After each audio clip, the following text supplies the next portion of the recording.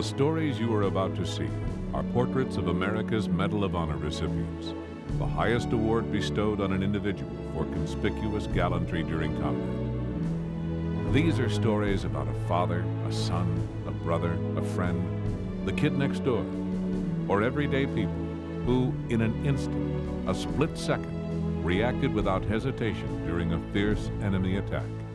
Without regard for their personal safety, they went into action to perform above and beyond the call of duty.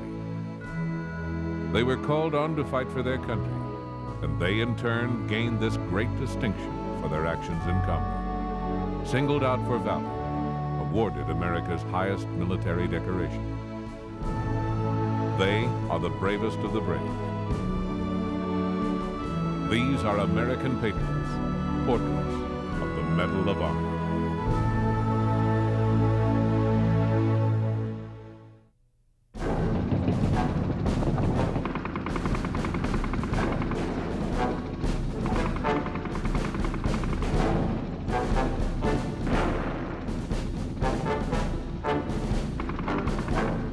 In 1968, the Viet Cong were ambushing U.S. troops in Vietnam and making a clean getaway across the border into neighboring Cambodia. American Special Operations Groups launched top-secret raids into these enemy sanctuaries from the forward operating base at Loc Ninh. The sweltering heat of the jungle was a climate well suited for bugs and insects. Then Master Sergeant Gordon circles around to the other side of the aircraft. Durant continues to shoot until he runs out of ammunition. The end is near. Durant hears Gordon scream out. Warrant Officer Durant puts his hands up in the air and looks to the heavens.